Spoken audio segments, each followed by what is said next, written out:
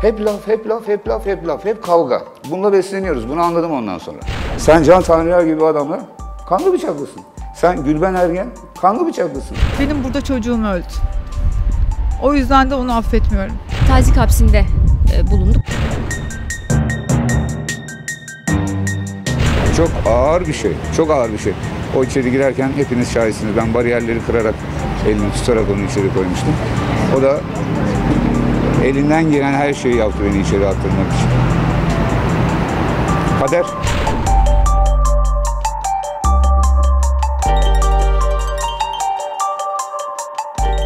Meydan alalım.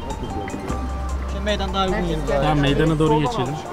Buyurun efendim. Tamam meydana geçelim. Tamam Orada yapıldı. Adliyedeyiz şu an. Meydan alıyoruz arkadaşlar. Meydanda.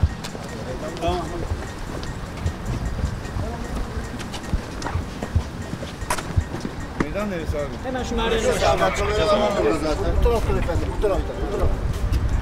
Buradan, buradan.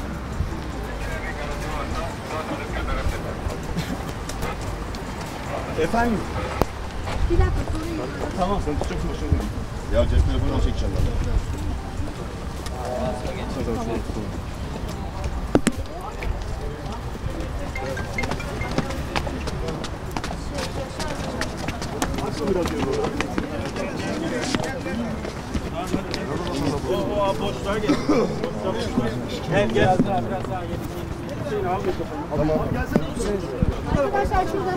Böyle mi abi? Tamam. Yaşar Bey böyle alalım. Evet, buraya, buraya. Yaşar bir dakika bir fotoğraf çekelim sonra kamera. Bir dakika arkadaşlar fotoğraf alalım biz. Bir kare fotoğraf alalım. Yaşar Bey şöyle. Yaşar Bey, Evet arada adliyeye geldik. Süreç nasıl işleyecek? Bununla ilgili Bir dakika, biraz bir bilgi dakika. alalım. Şu anda Ya, yayındayız. Şu an süreç abi. Geldik işte işlemlerimiz yapılacak. Ee, teslim olacağız gidip cezaevine. İşlemlerimizi yapacağız burada. Saat belli mi? Kaçta olduğunu? Saat herhalde Bir yarım saat kadar burada işlemlerimiz var. Sonrası buradan Metis'e gideceğiz Arkadaşlar ben teslim tekrar olmak üzere. söylüyorum. Ben bu cezayı herhangi birine şiddet, fiziki bir şiddet uyguladığım için asla böyle bir şey çekmiyorum. Seren Hanım'a bunu yaptığım için burada değilim. Konuşma yasağını bana çıkardılar ve konuşma yasağının arkasına sürekli iftiralarda, sürekli iddialarda bulundular. Ben de istemezdim şu anda böyle bir pozisyon. Efendi efendi bitsin gitsin ama maalesef bunu karşı taraf bilmedi. Ben konuşma yasağından dolayı giriyorum. Herhangi bir darp raporu, herhangi bir fiziki bir şey. Hani bağırmamı çağırmamı çekmişler de FETÖ'cü gibi. Kalkıp fiziki şekilde vurmamı mı çekmemiş? Evin her tarafında kameralar var. Çok çirkin şeyler oldu artık. Gerçekten ben artık bundan kurtulmak istiyorum. Herkese Allah e, vicdan rahatlığı versin. Çok sıkıcı bir durum. Ben onun elini tuttum buralarda. Yani aklıma geliyor şimdi. Gerçekten çok üzücü bir durum. Elinizde e, e, teslim etmiş. Bariyerleri kırarak ben onu, ellerini tutarak götürdüm onu teslim ettim. O Siz de şimdi hapise soktu. o beni bu şekilde hapse soktu.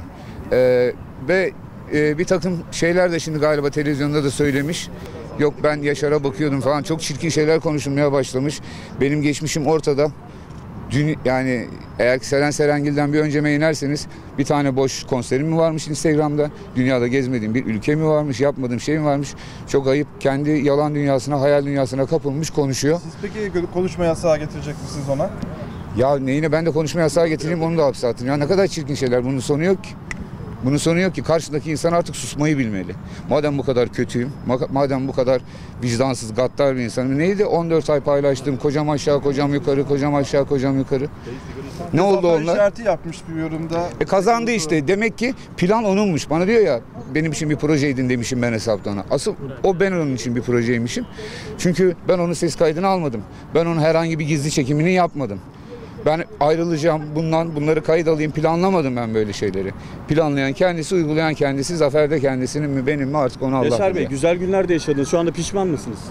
Ee, ben yaşadığım hiçbir şeyden pişman olmam. Ben duygularıyla yaşayan bir insanım. Duygularımı neyi getirdiyse bana onu yaşadım. Ee, sonucuna bakıyorum hak etmeyen bir insanla yaşamışım. Sorun değil. Şu anda problem Seren Hanım değil. da canlı yayında dinliyor sizi bu arada. Tamam o Bir zaman. mesajınız var mı? Allah herkese vicdan rahatlığı versin. Başka hiçbir şey söylemiyorum. Tekrar söylüyorum. İvedilikle altını çiziyorum. Ben Seren Serengil'e asla fiziki bir şiddette bulunmadım. Asla ve asla. Evet Bir kere çıktım konuştum. Sevgili Ali Çınar'ın programında konuşmuştum o da. Bir kere konuştum. O da bir sürü iftiralar, bantlar, onlar, bunlar 50 tane şey çıktı. Çıktım kendimi savundum. Kendisi hakkında hiçbir kötü bir şey konuşmadım. Hiçbir tane kırıcı bir laf etmedim. Kendimi savundum. Bunu da kullanarak bu bize şiddet uygulamıştır de- diyorlar. Mahkemede sizin karar çocuğun- verdi. çocuğunuz Yanlış olacak. bir karar olduğunu da altını çiziyorum yani. Çocuğunuz olacaktı ama e, süreç çok farklı işledi. Yani Evet. şu an mesela belki bu e, düşürmemiş olsaydı çocuğunu ve doğacak olsaydı bunun hakkında Şimdi Seren Hanım tansiyon hastası zaten. Yani anladın mı? Şimdi bunu düşürdü de ben düşürttüm de o da oldu da bu da oldu da bunlar çok çirkin şeyler. Tamam. Gerçekten çok çirkin şeyler. Bir çocuk öldüyse o çocuk Tamam, benim tamam, de çocuğumdu. Tamam, tamam, tamam. Benim de çocuğum olacaktı. Yani bunu sadece kendi üzerinde bu benim çocuğumdu, bu benim çocuğumdu demesi çok saçma ve çirkin. Yaşar Bey, Seren Hanım canlı yayında. Şu anda kendisine bir şey söylemek ister misiniz? Sizi dinliyorum. Allah herkese vicdan rahatlığı versin arkadaşlar. Hadi. Tamam bende.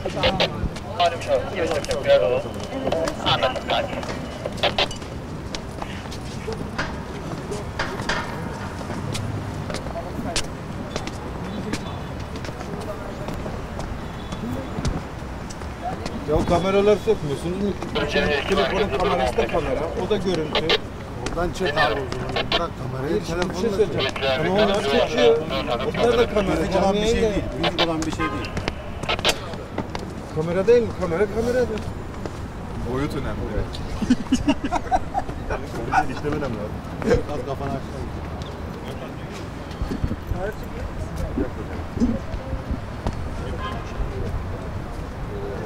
Gaz kokuyor. Nasıl gaz kokuyor ya? Nereden geliyor bu? Her tarafından kokuyor abi.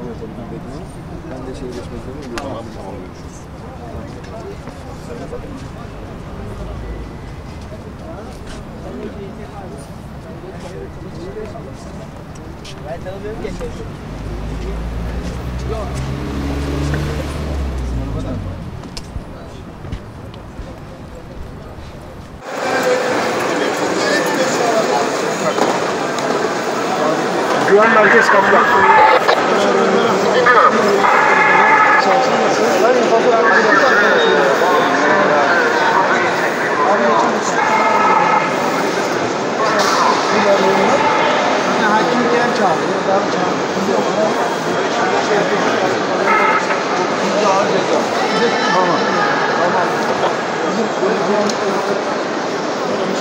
kapıda.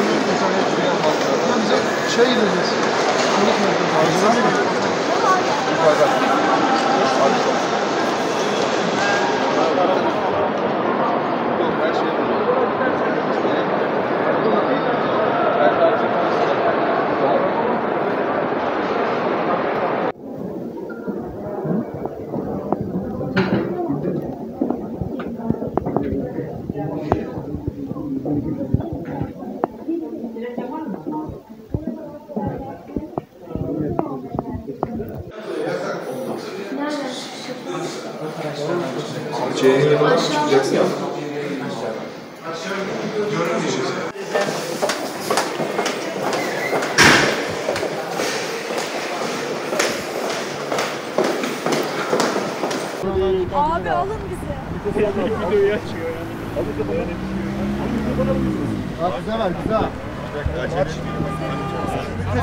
Lazım olacağını pek zannetmiyorum. Ben de zannetmiyorum Ben ama biz video çekiyoruz. anons olacağım da bir anonstan sonra. Abi sen tut. Abi Mete tutsun ben atarım size ya. Dur dur Mete ile beraber şey sana atar.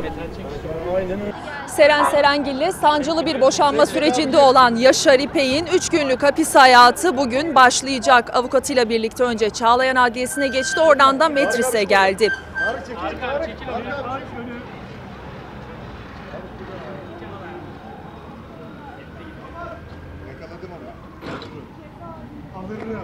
Aç hemen kardeşim atayım. Begüm Hanım, Yaşar Bey'in 3 günlük e, hapis süreci bugün başladı. Neler söyleyeceksiniz? Adliyedeydiniz buradan önce, orada işlemleri tamamladınız, buraya geçtiniz. Bize bu süreçten biraz bahseder misiniz? Evet, herkese malum olduğu üzere biliyorsunuz müvekkilim Seren Serengil ile birlikte e, sevgi ve saygı çerçevesinde başlayan bir evlilik birliği tesis ettiler. Aslında 13 ay boyunca her şey çok güzel devam ediyordu. Sonra her evlilikte olabilecek gibi bir takım sıkıntılar ortaya çıktı. Ve bu sıkıntılı süreçte taraflar arasındaki evlilik birliği çekilmez hale gelince müvekkilim de Seren Hanım'a karşı bir boşanma davası ikame etti Çağlayan Adliyesi'nde. E, akabinde ise Seren Hanım e, müvekkilime karşı 6284 sayılı yasa kapsamında bir koruma kararı aldırdı. Bu koruma kararının içeriğinde ne vardı? E, müvekkilim e, Yaşar İpek'in Seren Serengil'i herhangi bir e, şekilde rahatsız etmemesi, yanına yaklaşmaması, e, herhangi bir şekilde kötü söz etmemesi ve bunun dışında ayrıca kitle iletişim araçlarıyla rahatsız etmemesi. Aslında olayımızın mihenk taşında bu kitle iletişim araçları oluşturuyor. Çünkü neden? E, Seren Serengil bir takım müvekkilim hakkında e, açıklamalarda bulununca hale takdir edersiniz ki müvekkilim de anayasadan doğan hakkını kullandı ve bir takım e, kendisine atılan iftiralara karşı cevap hakkını kullandı ve bunu da bir e, programa katılarak yaptı biliyorsunuz. E, internet üzerinden yayınlanmakta olan bir programda. Öncelikle bu konuşmayı ilk ve son kez yapacağım. Bunu herhangi bir magazin programına gidip de orada masa başına oturup da olayları başka yerlere çevirmeler, onlar bunlar. Bir de eşim yani şimdi aslında bunları konuşmak bile bana gerçekten çok zor geliyor. Keşke her insan anlaşamıyor biliyor. Bir buçuk yıl sonra değil, 40 yıl sonra da ayrılan insanlar var. Medeni bir şekilde geçip ayrılmayı biz başaramadık maalesef. Ve sonrasında da Seren Seren Serengil'in avukatı e, şeye dönerek e, mahkemeye dönerek mahkemeden dedi ki e, Yaşar İpek'in bu programa katılması bizim almış olduğumuz ihlal kararını e, pardon tedbir kararını ihlal niteliğindedir dedi ve müvekkilimin hapis cezası cezalandırmasını talep etti. Mahkemede bu talebi kabul etti ve mahkemenin kararında şu husus çok açık diyor ki Yaşar İpek bu programa katıldığı için kitle iletişim araçlarıyla e, Seren Serengil'i rahatsız etmiştir. Çünkü böylesi bir televizyon programı birçok kişiye kitleye ulaşmaktadır. Ve biz de kararımıza mahkeme ne demişti? Kitle iletişim aracıyla Seren Serengil'i rahatsız etme. Bunu bir e, rahatsız etme olarak ve ihlal olarak değerlendirdi ve hapis cezası hükmeti. Thank you.